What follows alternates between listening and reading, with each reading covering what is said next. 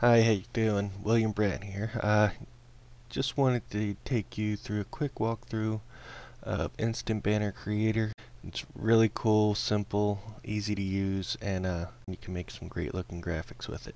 Type of graphics you can make, let's see here. Name of the site's Instant Banner Creator, but you can actually make a lot more than just that.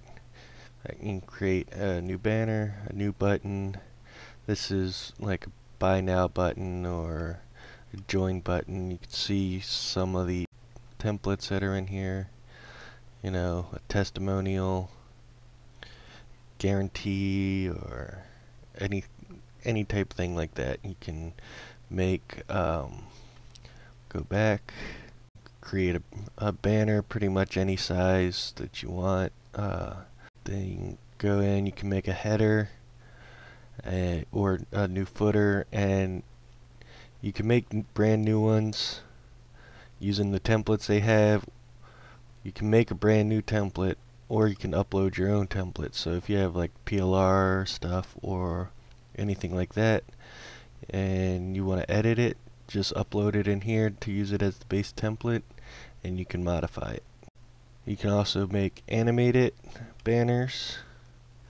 You can choose how many frames you want, up to six and then you can apply that to however whichever one of the uh, ones you want to make. You want to make an animated banner an animated button animated footer or even an animated peel away ad which is pretty cool. Let's just cancel out of there. And then like that you can make peel away ads. I'm sure you've seen them they're all over the place but they're not a whole lot of places where you can find graphics for them well, now you can make them for yourself. Let's take a look in here. Small ones. We'll just do the, one of these as an example to show you how easy it is to make your own peel away ad or your own graphic at all using this program. Alright, so we'll use we'll just use this template for right now. we select use this one and there we go we're now using this template. This is going to be the peel away ad that we use on our site.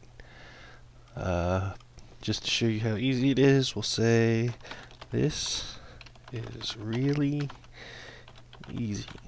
We'll just go up to uh, 20 font. We can add some shadow. We can increase the distance of the shadow. We'll just put it to 2 and add text. It'll come up here. You can drag it put it wherever you want. Uh, if you want to use that one click there. There you go. That this is really easy. Now if you want to add more text come back down here. Uh, and it's cool. Use all the same stuff. Add text and there you go. You can keep adding as many lines of text as you want. You can change them around for each line and add them in there. Once you get all your text in that you want you can add some extra images. Uh, you want to put a guarantee on there. You can do that.